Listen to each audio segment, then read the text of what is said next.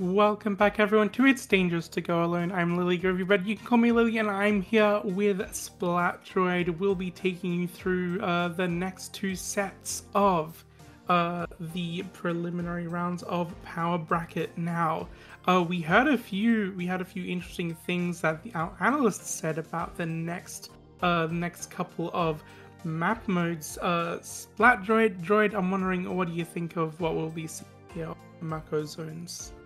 Mako Zones is going to be a very good map for sloshers, just like back in Tower, like we saw earlier. And if there's just like any kind of really aggressive uh, shooter or or slosher will be really good for getting around the stacks or the zones and just keeping control. Never know you never know when somebody might pop up because this is a really good sharking map for any kind of frontliner. And it yeah, seems speaking of sharking, actually, it does look like Axel might be playing the might be playing some sh- very sharky weapons on the side of Jaded Judo with not only the carbon but also an ink brush, which could be could be a pretty good uh, could be a pretty good sharking choice. I've got to say, but you know what?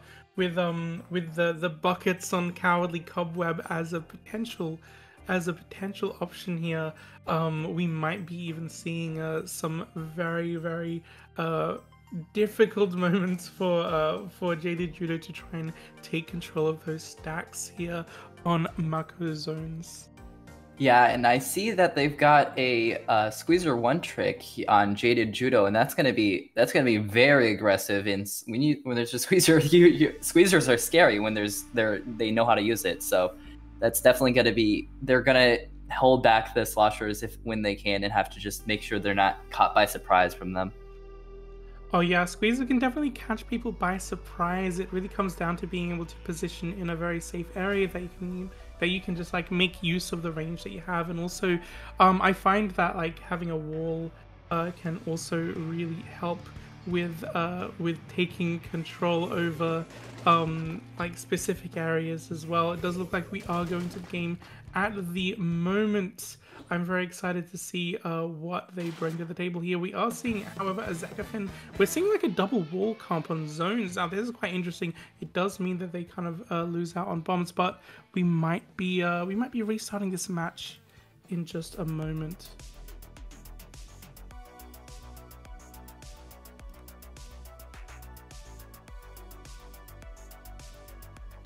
Yeah, it looks like we might we might just have to restart this match, but yeah, I, I gotta say actually, um, I think having uh, having the double wall comp was kind of interesting um, for for zones, and it does mean it's gonna be difficult to difficult to make the other team from being able to uh, push past that little alley or, or breakfast. I always prefer calling it breakfast because it's like a funnier.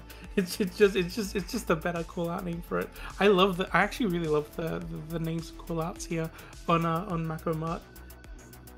Yeah, the goofy callouts are always the best ones, and the you're you're re- exactly right with the walls. They'll definitely be able to hold off the al- the breakfast or alley, and and they're and also in the middle with the zone in the bag. You'll be able to they'll be able to hold hold off the sides of the bag, and they'll have to go around. The other team will have to go around them real like fast because that's a really good place to hold them. I know I struggle against walls on this on this, this map mode for sure. Yeah, definitely. So I think I do think that like even if you don't have the options to like bomb players out and actually like push in and take zones with those bombs as well, having those walls I reckon is definitely going to be uh definitely going to be a strong choice here.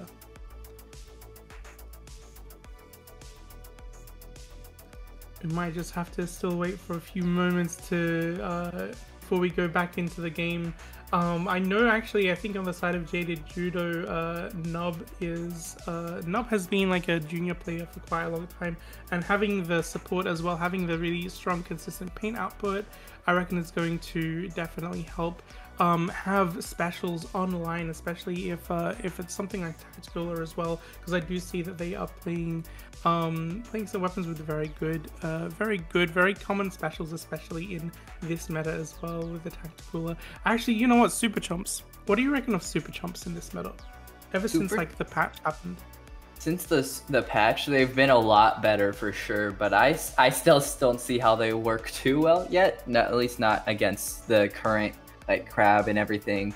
but they seem to be they're, they're slowly rising, and I think they could still be good. Like, maybe at least on zones for just distracting and like to go around like in this zone specifically since it's one one big zone and now the radius of the chumps are a lot bigger i think it could actually be very good for distracting them with the jumps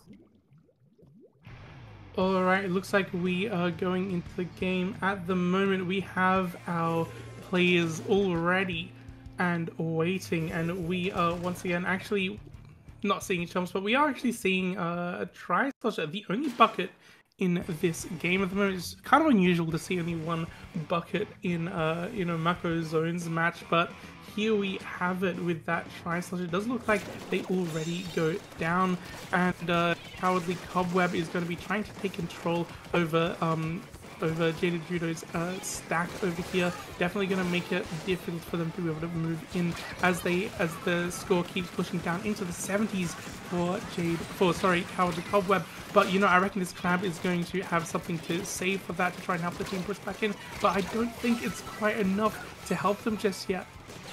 And that's two down for on co- cobweb. So uh, so jaded duo should be able to it was able to get some penalty points on the zone which is really good because they were going down really fast.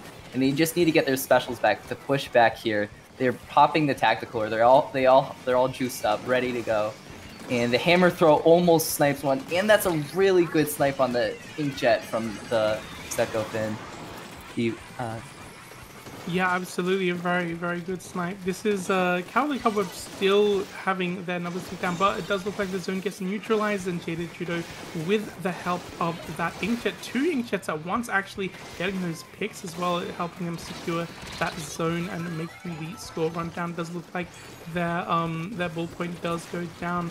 And we can see Nub here noticing a noticing a a bit of a bit of trouble happening over the side there, but we're going to be making sure at least that with control of the stack, or at least trying to clear players out as much as possible uh, from the other side, they can at least try and get some more control over the zone. But with three players going down, a kind of soft wipe here, Jaded Judo is going to be using this opportunity to really start pushing up and continue their push, perhaps even getting lead here, Droid. Yeah, they got the lead there. They're they have control of the map. They have a lot of paint on the map and already, and keeping them back. And but Cowardly Cobweb does have three specials. They pop the Inkjet, and, uh, the the Zuka, and their strikes and the crab, and they're they're definitely getting the cap there because a few went down on uh, Jaded Duo. Well, they're just trying to find anyone that's been, might have been sharking to the side, and looks like they're gonna have to jump out here. The crab trying to keep any keep control of the mid slowly. The try does get one, almost another. The wipers there goes the wiper too, and that's three down on Cowardly Cobweb. So Jaded Duo can have Judo have have more points. Yeah, that was a wipeout that we saw actually. Jaded Judo using this opportunity once again to push up and really pressure that sniper. Getting a great pick. Oh, three down on the side of Cowardly Cobweb as well. This looks this looks like Jaded Judo is really um, in the position they want to be. This is definitely going to be something difficult for Cowardly Cobweb to break out of at the moment. Having to deal with these flanks, having to deal with all these all this like paint from uh, Jaded Judo around them as well. But you know, with those two players down, actually I don't think they're able to push back out. Looks like the game ends up going to Jaded Judo there as they finally managed to take the score all the way down to zero. It was a little bit of a tricky push um, for them to get in at the start, but once they had that lead, I have to say, um, definitely managed to manage to really find their footing and know exactly uh, know exactly when and how to uh, push up and stop Cowardly Cobweb from being able to retake the zone at any point they tried. Uh, yeah, the Tri Slosher really was able to get in after they got that lead and was ready to hold them off for quite a while, and that really that worked really well, and they had con- complete control of the mid, which stopped uh, Cowardly Cobweb from getting back after that, and it was just like a one downhill slope, and Jaded Duo was just able to get the knockout off of that. Yeah, absolutely. We I do remember, however, the initial push was really strong from Cowardly Cobweb, and uh, them knowing that they have to take uh, Jaded Judo's stack as well, just to make sure that they have as much control they have, as much high ground as possible. We're seeing those Tri Strikes come out as well. Definitely the plays that they wanted to be able to get that initial first push, and it was like a really good push as well, down to like the low 40s as well. That's something that is always going to be very strong on uh, splat zones and can be like a little bit tricky to kind of retake from if you manage to not only get that big of a lead but also be able to position far ahead enough to really like retain that as well. Unfortunately, however, I do think Cowardly Cobweb once uh, once Jaded Judo managed to get a lead off of them, unfortunately just couldn't break out there and they couldn't retain the space that they really wanted to take up in that game.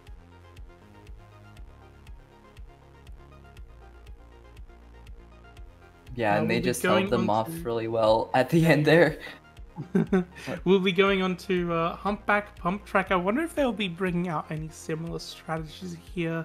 Droid on Rainmaker Humpback. I know that this one can go uh, can go pretty fast. Yeah, it can be a complete downhill slope after the first checkpoint here, because once you get the first checkpoint, you just have to go through uh, if, if you can just get one and a half wipeouts, that's just to like instantly a knockout. And we're starting up here, and there is the Tri Slosher and Squeezer coming back, and that's the Slosher coming out instead on the other side.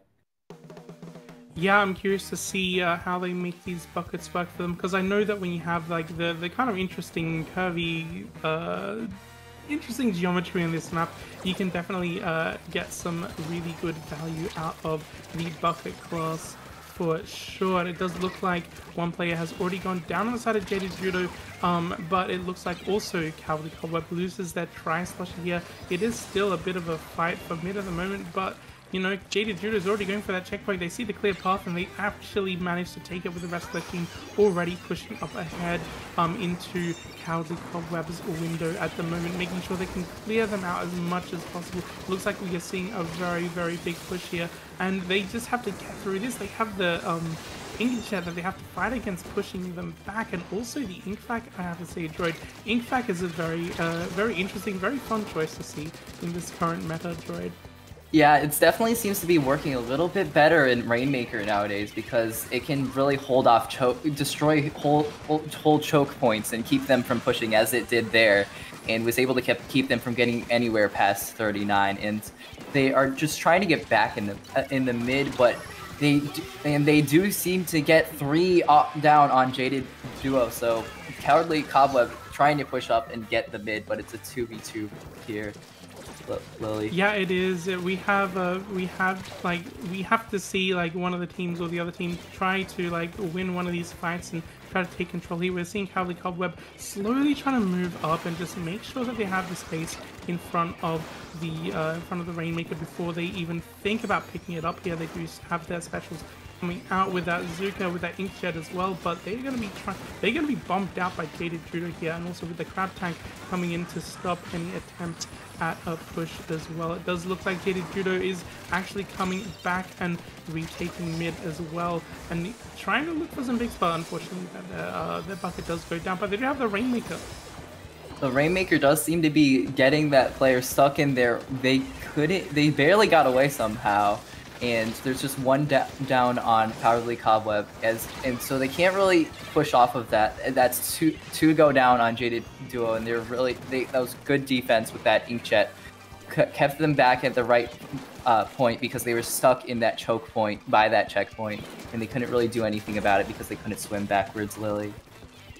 Yeah, no, I want to be able to see Cowardly Cobweb find an opportunity for them to actually get some points on the table for them because we have just over two minutes left if they haven't quite got anything yet. Every single attempt that we've seen um, has kind of been bombed out by Jaded Judo as well, but we are seeing them actually uh, actually get a crab tank out and actually start moving up kind of slowly towards that first checkpoint. It does look like they are going to be pushed back a little bit by those Tri Strikes, but they do manage to find an opportunity to get it in at that moment and try go for the next one with the help of that Ink Vac once again, trying to like make that Crab Tank as minimally as effective as possible on the side of Jaded Judo. They are going to be running it. They are going to be seeing if they can get a lead off here, but it's very difficult to see them, I believe, push it up with any like any speed here. Nub here on the on the Rainmaker just playing very, very patiently, knowing that if they go down, that's going to be end of that push,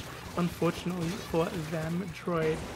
Three go down on the Cowardly Cobweb, and they almost got that push out there. They got the checkpoint, but they couldn't get past there because of the specials. The strikes and the whale came out at, good times when they were all stuck in the choke, so they got them out of there, got Nub out of the with the Rainmaker.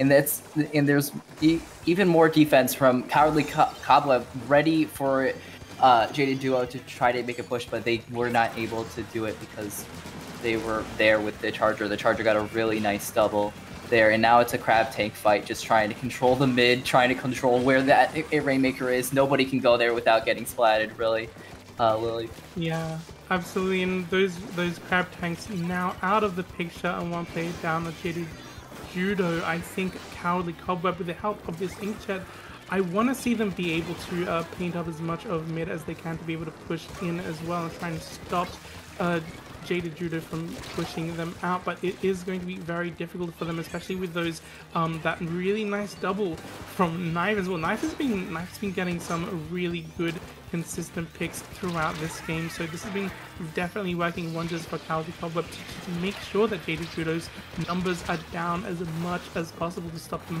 from being able to find that opportunity to pick up the Rainmaker. We only have a couple seconds left, and it looks like that game ends right there. Yeah, the crab was, like, uh, was just ready yeah, yeah. there.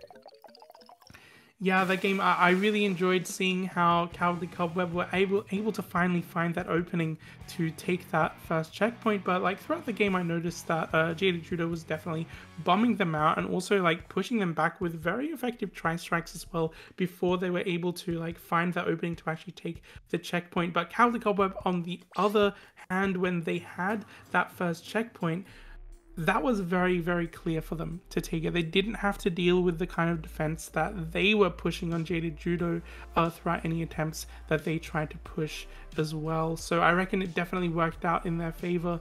Um, anytime Cowardly Cobweb tried to uh, anytime Jaded Judo tried to push, but Cowardly Cobwebs, uh, Cowardly Cobwebs, when they did manage to push in, when they did have the ink vac to help them support, unfortunately, I think it was just, uh, just not quite enough for them to deal with uh, Jaded Judo's defense droid.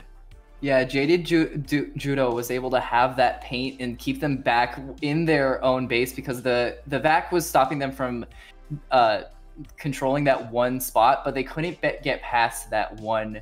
Couldn't get past the checkpoint because there was just too much paint from Jaded Ju- Duo, Judo to that kept them from getting any farther at all.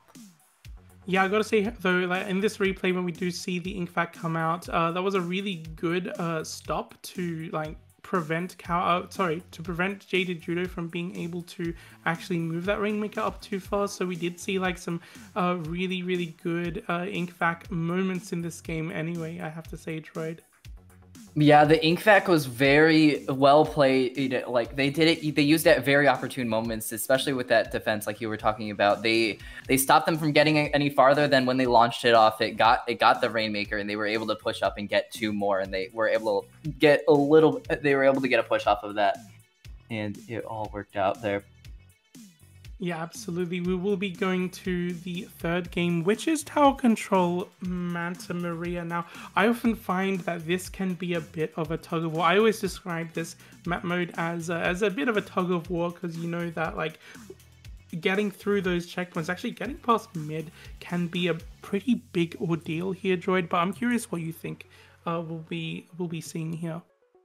Yeah, Manta Tower, the ink, if they bring back that ink vac, then it, it will be very good for the, because there are very, like, there are smaller choke points for the checkpoints and stuff for the ink vac to be able to stop pushes and keep them out of there and, like, just launch it in very small spots and usually get at least a pick or two. Yeah, we are seeing actually the Hydra Splatling come out, which is interesting. I think it would be a good choice as well, having the Booyah Bomb online to be able to clear out those choke points, which can be kind of small, and then like definitely help them to uh, definitely help them to have a little bit of extra support getting those uh, getting those um, what are they called again? The checkpoints as well. We are seeing, however, a bit of a bloodbath. Two players have gone down on the side. We are seeing Cobweb with the crab tank, but also Judo returning with another crab tank as well. It is a fight for mid at the moment, but it does look like Jaded Judo, if they can find an opportunity to get onto the tower, I do believe they might be able to get something here. They got actually, one I'm down. not sure anymore. yeah, they don't really have control of the map. Nobody, it's like just back and forth here, like one pick after the other on both sides. And the Zuka does come out and get gets one on the Tri-Slosher, and Cowardly Cobweb is able to take control of the mid and get at least to the first checkpoint, while the Hydra's trying to keep, keep control of the bunker, but cannot really do that. There's another person there too and they're just all they're all bunched up there and the booyah bomb does come out and gets the try hiding on the wall while they're get, got past the checkpoint gets another. The hydra is there and ready and there's nobody there except for one but there's too many from cowardly cobweb for them to deal with that. Actually they do get to get those two lily yeah, you know, I have to say that uh, when that Zuka came out, I knew that this was the start of a pretty big push, especially all things considered on Manta Maria tower control, and having that Booyah Bomb to follow up to help clear that next, or at least to help get them to that next checkpoint was definitely a very well timed, very well placed Booyah Bomb as well. But now we are seeing, uh, now we're seeing push in the other direct direction from Jaded Judo. We can see the Inkjet come out trying to clear out this top left area, hopefully try and stop any... Oh, actually, you know what? We can see a pretty well painted street here, so this is going to help them get lead even. I gotta say, but Capital Cobweb, I think they have something to say about this. As they are pushing back, especially with Nub on the Crab Tank here, trying to give them opening to take back mid for their team droid. Yeah, and they were able to get back right after the lead, and that's not a big lead, so they can probably get that back pretty uh, without too much difficulty if they can just keep control of the mid. And they did get another pick and have the paint around the mid, have the Booyah Bomb coming out on the choke point in the alley. And the Sloshers trying to contest the tower on their own and actually get scares the Hydra off, which is really good for them. The crab tank out coming out from Nub doesn't even see the try, and the try almost manages to splat them, but doesn't manage to get that splat and to go down on Jaded Judo and Cowardly Cobweb has another chance to push a little bit more Lily.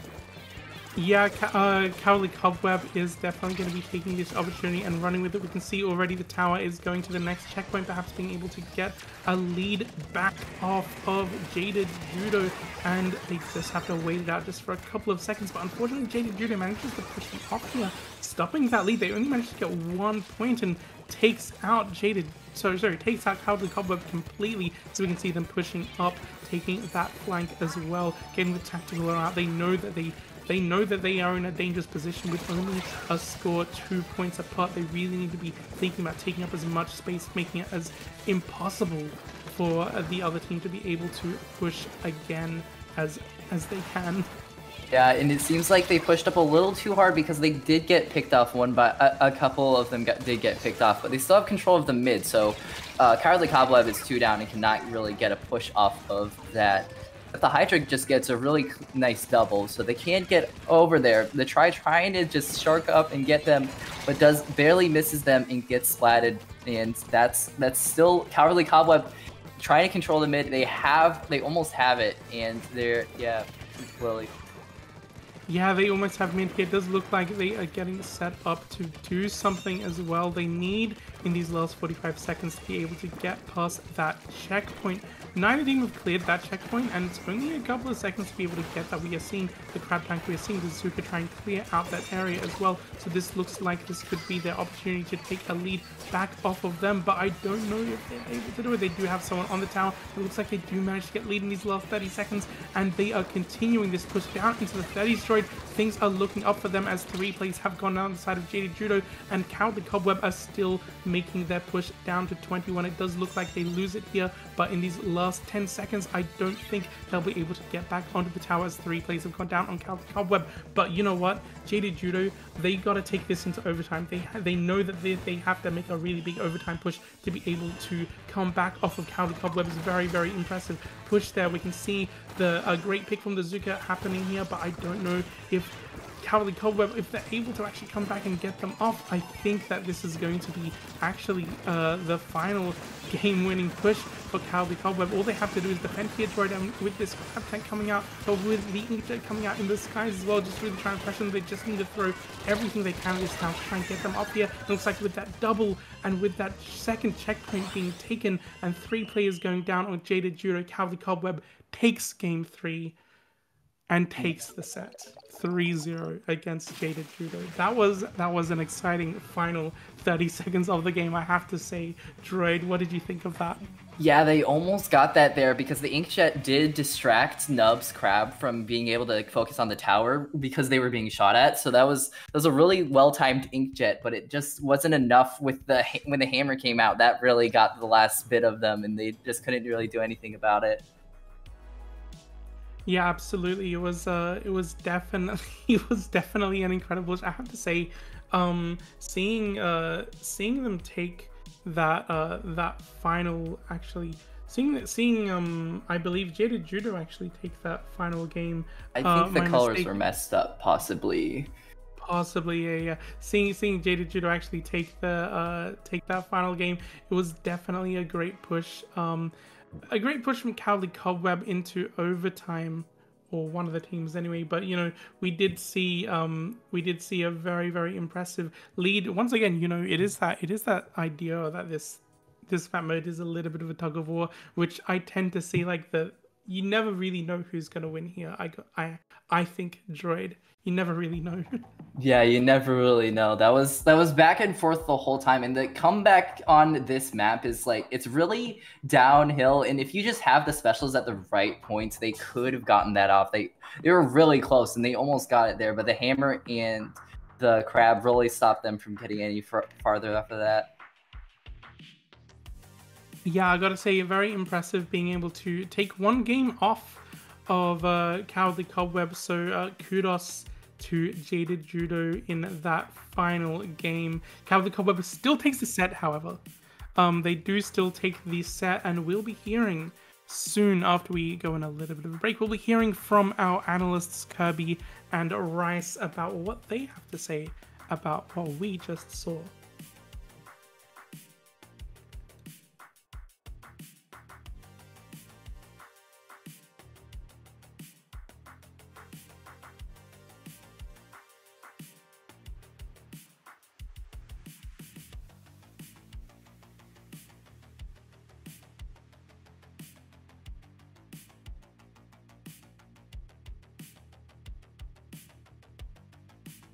Right, and welcome back to the analyst desk. So we don't really have too much time to go over this set as the next set is almost ready to start, but we can cover just the brief things that we saw. How what did you think about this first uh, game on Splatzone's Mako, Kirby?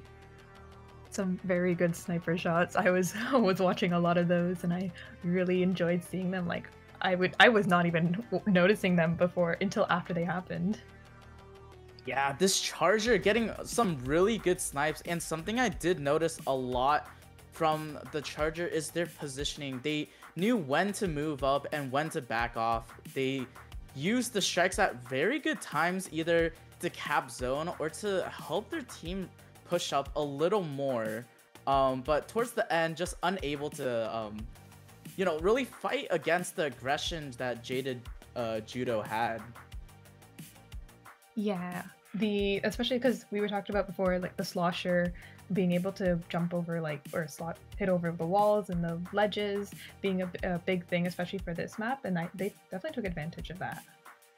Yeah, for sure, and we see like um jaded uh judo they they do have this more aggressive comp with a more uh, mobile backline of a ballpoint whereas um cowardly cobwebs had the charger, so they needed to play a little slower. And I think this was to the advantage of Jaded Judo, Judo as every time they did, they did have an aggressive push, they got onto the enemy plat and made sure they held pressure up there. Yeah, and at one point I think they both pulled out the the inkjet and they were both shooting around and it was causing mass like panic and uh, like ki- lots of kills happening at, all at the same time, and definitely like big distractions as well with double uh, ink jets happening.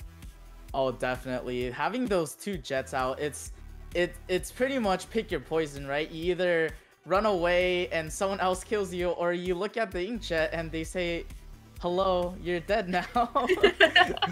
yes, it's a lot of that. Yeah, but moving on to the second map, I think again with the aggression on the side of Jaded Judo, they had an overall advantage here, but there it was very back and forth, and I think um the V charger with that vacuum was really good. Yeah, I feel like we don't see that often with the vanilla or the original charger using the vacuum. People tend to off, um, choose the one with the the ink strikes. But yeah, being able for them to be able to push forward and then uh, use it to defend a checkpoint. And then now we're looking at the tower control game. Yeah, and we see on this tower control game, it was really back and forth, and I have to say props to Cowardly Cobweb.